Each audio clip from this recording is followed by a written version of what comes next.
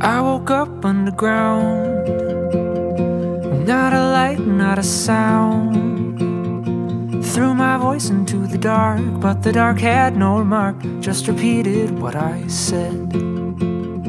Claustrophobic at first, struck by hunger and thirst.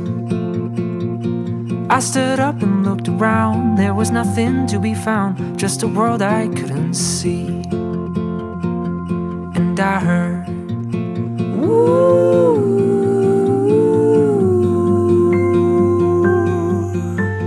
I can't see now. I'll find my way underground.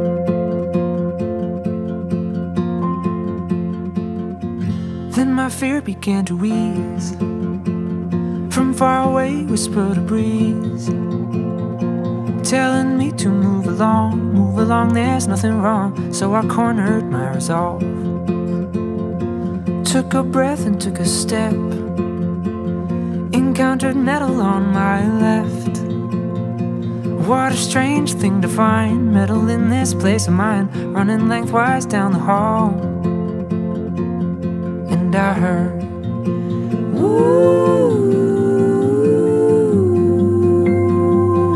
Then a light shone through the black.